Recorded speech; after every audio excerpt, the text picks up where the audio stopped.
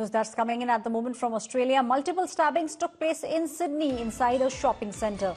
The stabbing took place at the Westfield Junction, which resulted in multiple deaths. Heavy police and ambulance present on the site. Public is now being advised to avoid this area.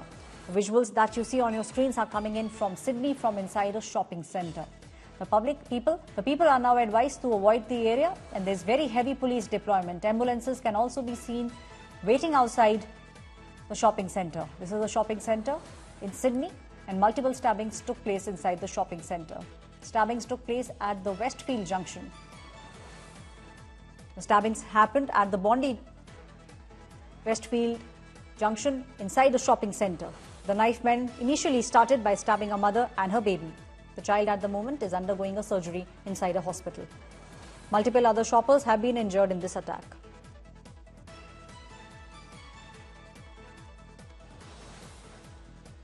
Yogesh Khattar, a senior journalist from Sydney, is now joining me on the story. Yogesh, the visuals are pretty shocking, and from what we understand, uh, you know, it began when the stabber st stabbed a mother and the baby. From what we are understanding, the baby at the moment is in the hospital, very critical, and not just the mother and the child, other people were also stabbed. Yes, definitely. It's, uh, it's a very serious uh, incident happened, unfortunately. Uh, usually, Sydney is a very safe city.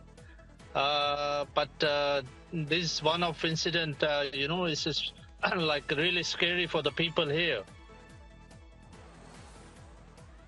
Yogesh, if But, you can tell us what, how far the investigations have gone. Has, has the police been able to zero in on the culprit?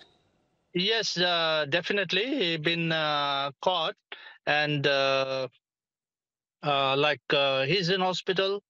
Uh, he's been shot. So, uh, but what was the motive and uh, you know like uh, purpose behind? It looks like uh, uh, you know, like they say, uh, it's it's a terror uh, attack, but uh, not uh, you know confirmed yet. Well, Yogesh, a big thing you are saying there, it seems like, uh, you know, there is there are multiple angles to it, but you are saying at the moment that he was nabbed, he was also shot by the police. That's right. Yes.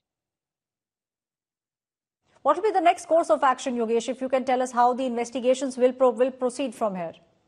See, usually, uh, you know, the the police here is very attentive, like, uh, and very, uh, you know, uh, uh, effective way of uh, doing things.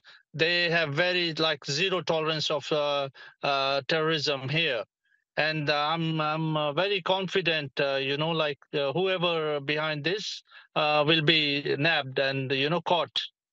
Thank you, So Yogesh. they are, uh, you know, investigating uh, multiple, uh, you know, like uh, questioning multiple people.